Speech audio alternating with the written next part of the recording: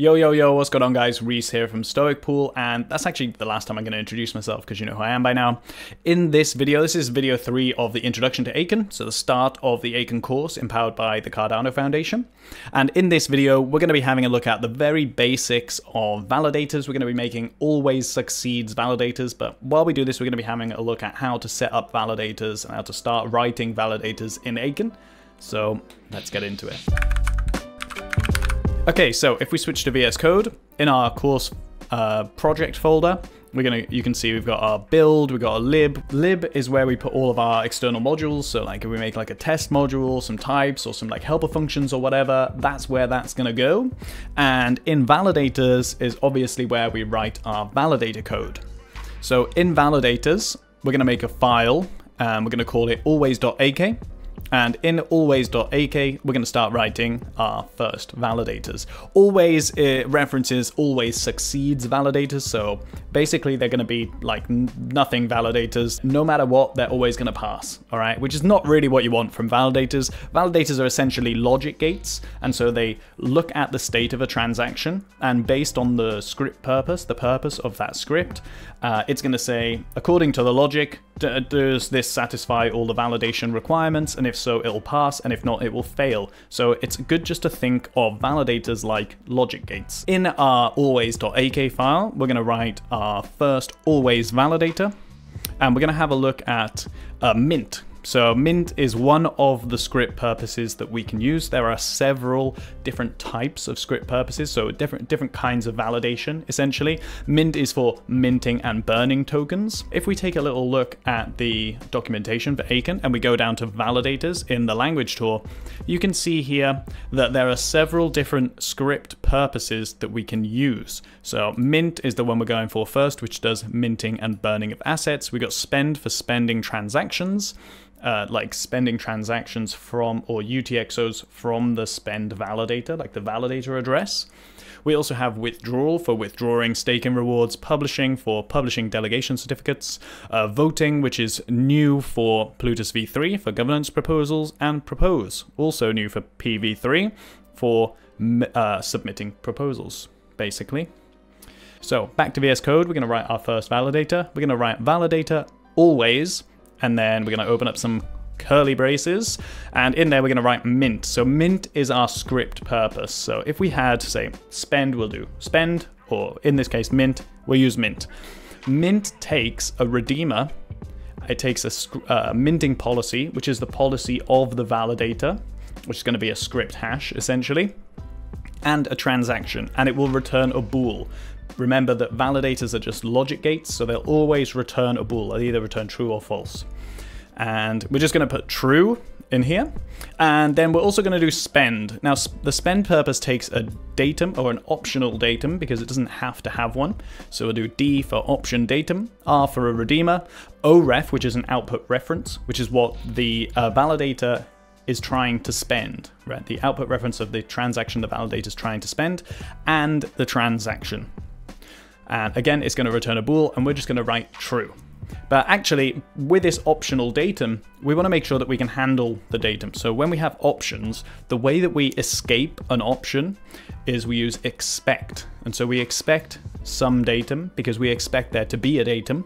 So we'll expect some datum uh, equals D, and now we can act as though that datum always exists. Now, we're not really going to worry about that. I'm going to get into that in more detail later, but for right now, just know that we can basically deal with if there's a datum, if there's a datum of the right type, and if there's no datum. So just bear with me, all right? I'm just explaining this very quickly so that we can move on to the important stuff, but we're going to go through this in a lot more detail when we're writing real validators. Uh, so I'll just get rid of that now and write true. And if we want to ignore stuff, like we just want to discard things in Aiken, we just prefix that variable with an underscore. So I'm going to underscore that datum, I'm going to underscore the redeemer and, uh, and OREF, and above I'm going to do the same with the redeemer and the policy ID. Uh, we can do all kinds of stuff with Aiken language, but right now what we're going to say is when the D exists, so when D is, and then we essentially have like a switch statement. So if there is some datum, we're going to return true, and if there's no datum, we're going to return false. And then to expand on that, we can say, we can add some curly braces. We can say to do and at validation incoming. Okay, and that's just a trace. Don't worry about that too much. Again, we're going to cover that in a lot more detail later. Now to import modules, we just go to the top of our file and we say use. In this case, we're going to be using policy ID. So we just say use Cardano slash assets. And then we can either have named imports or unnamed imports. So in this case, I like to export, uh, sorry, explicitly import types because it's quite neat rather than having to prefix everything. Uh, but for functions, generally I'll prefix it with the module name so that you always know where or like what the function is using. Like if it's a list or a dict, sometimes the function names are the same and it can be confusing. So it's just better, in my opinion, to do it this way. So that's what I'm going to be doing through the course. So we're going to import this policy ID. We're also going to use Cardano transaction and we're going to import a datum, output reference, transaction, and redeemer type and then we save that file. You'll see at the bottom of the file we also have this else, and what we're essentially doing is having an always fail, like an automatic out, if the script purpose doesn't match either of these functions. So in this validator we have a mint and a spend um, case, essentially, for the different script purposes, but if we try to withdraw, then it will just fail straight away. And else doesn't care what it is you're trying to do. If it's not the functions that have been specified by the validators, it will fail straight away.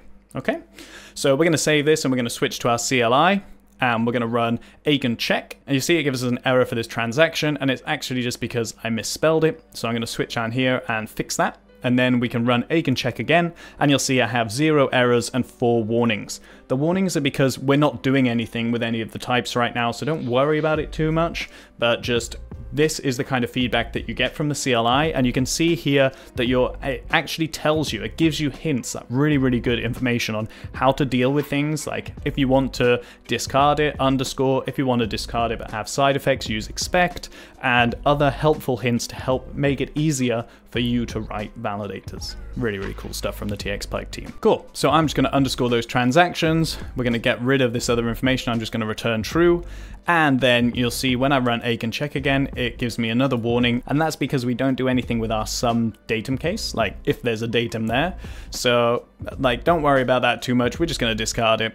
And then when we uh, run Aiken check again, you'll see I've got zero errors and zero warnings. Now, there are other kinds of validators as well, so we're going to have a little look at those too.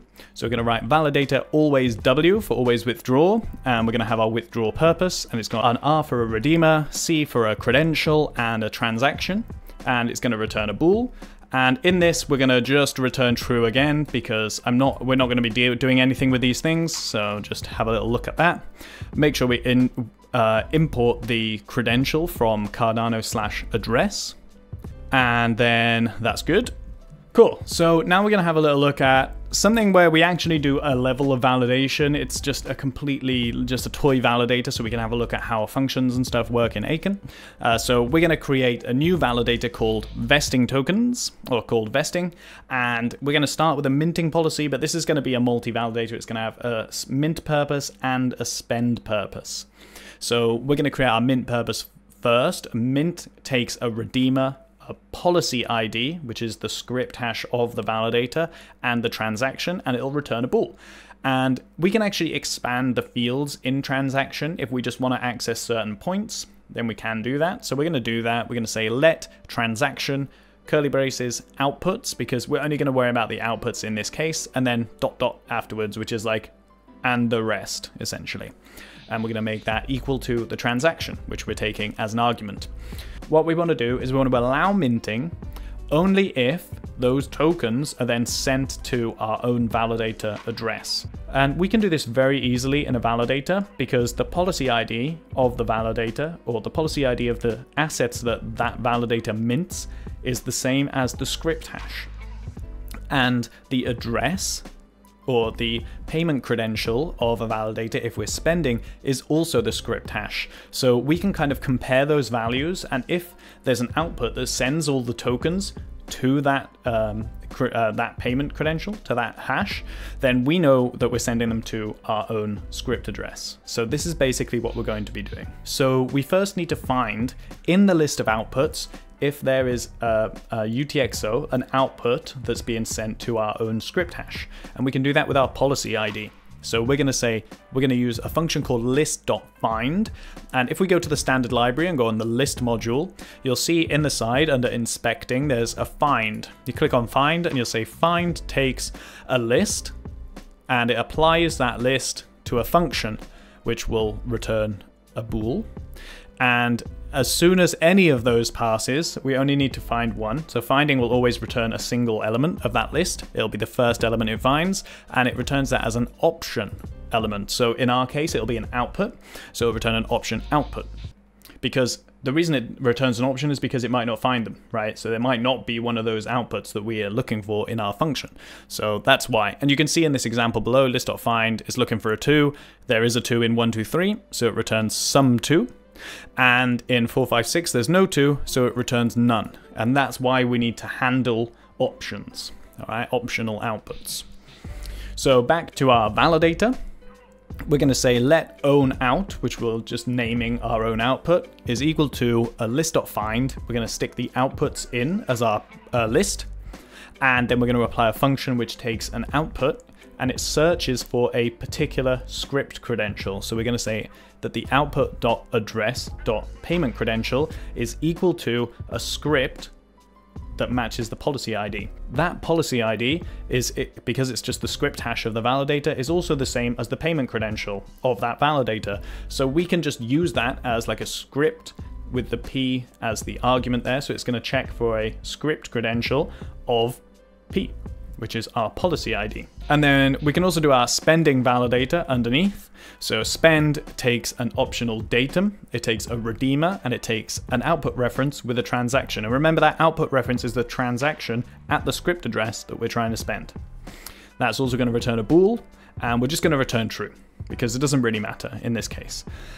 Now we're going to just discard everything, so we're going to underscore everything, and just make sure that that runs. Aiken check. Um, and you'll see that our own out is actually a problem, right?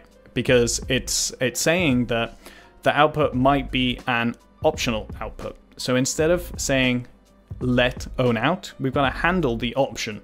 So we do that with expect. We're going to say expect some own output, and we're just going to discard it straight away because this is a toy validator. We just don't care. Then we can run Aiken check, and that passes, and then we can run Aiken build, and we will have our new validator compiled in a plutus.json file in the root folder of our project. So if we take a little look at that, the plutus.json, you can see here we've got a little bit of preamble, which we don't really care about, it's just information about the project. Then we've got validators, and we've got definitions. The validators is really what we care about. And we've got our always.always mint, We've got always.always spend. It'll show the datum shape and the redeemer shape, the different types that we expect. And it'll also have our compiled code and it'll have our script hash, that elusive hash that I've been talking about. And you'll see that these two script hashes match because the minting purpose and the spend purpose are all in the same validator, so the script hashes always match. And that's really useful for when you're having multiple different purposes available in a validator, because we can do things like we were doing where we use the policy ID as a verification, oh, as a credential um, check to make sure that we're sending to the right place. Okay, so that's it for this video. If any of this has gone over your head or I've kind of brushed over stuff super quick, don't worry too much, okay? Because we're going to go into a lot more detail throughout the rest of the course. So again, we're going to start with really, really simple stuff. There's going to be a lot less validators than what we've gone through right now for the next module. Uh, but in the next module, we'll be looking at a single validator. It's going to be a marketplace.